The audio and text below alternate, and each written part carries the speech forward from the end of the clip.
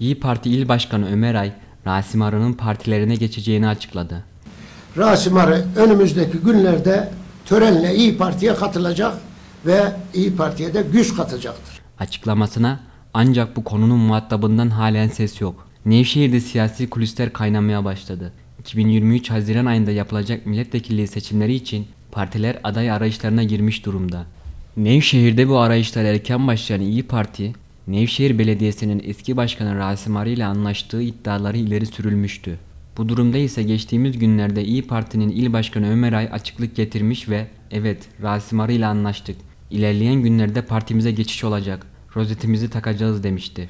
Nevşehir'de bazı kesimler bu açıklamaya sevinmiş, bazı kesimler ise yorumlardan anlaşıldığı üzere hayal kırıklığı olarak değerlendirmişti. Kulislerde tüm bu konuları konuşulurken muhatabından hala ses yok. O gün bugündür Rasim Arı'nın ağzını bıçak açmıyor. Bazı kesimler bu durumu Rasim Arı'nın kamuoyunun nabzını yokladığı için henüz kararını vermediğini söylerken bazı kesimler ise henüz anlaşma sağlanamadığı iddia ediyor. Arı samimi bir ortamlarda konu açıldığında henüz net bir durum söz konusu değil dediği de aldığımız duyumlar arasında. Peki Rasim Arı neyi bekliyor? Arı'ya Milliyetçi Hareket Partisi'nden teklif geldi mi? Arı'nın Milliyetçi Hareket Partisi Genel Merkezi'nde temas kurduğu isimler var mı? Arı'nın Ankara temasları ne diyor? Rasim Arı İyi Parti ile neler görüştü ve ne şartlar sundu?